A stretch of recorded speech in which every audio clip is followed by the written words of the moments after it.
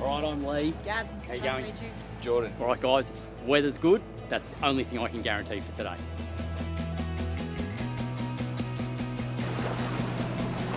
All right, who's caught squid before? No. Nah. Two ways you can do it. You can either cast the jig out and work it back, or we cast jigs out, chuck them in the rod holder, and we drift along. So I'll chuck a couple in, I'll show you how to do it, and we'll go from there.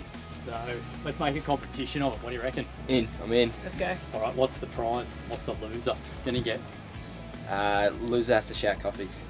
okay. Winner gets When the he squid gets we've caught. All the squid. Yeah. Oh, all right. Game on now. It's on. Gabby, you got any game day superstitions? Not really, I don't think so. No. Gotta have gotta have the headband on these yeah. days. Yep. Fair enough. What about Um, what about you, Jordan? I like playing PlayStation 4 a game. Really? Yeah, I like Game of choice? um FIFA. Yeah. Okay. Yeah, I like uh, switching off before games. Yep. Not thinking about playing. Yeah, you definitely play your best footy when you're not thinking about it. Yeah. Yeah. Play with a bit of freedom.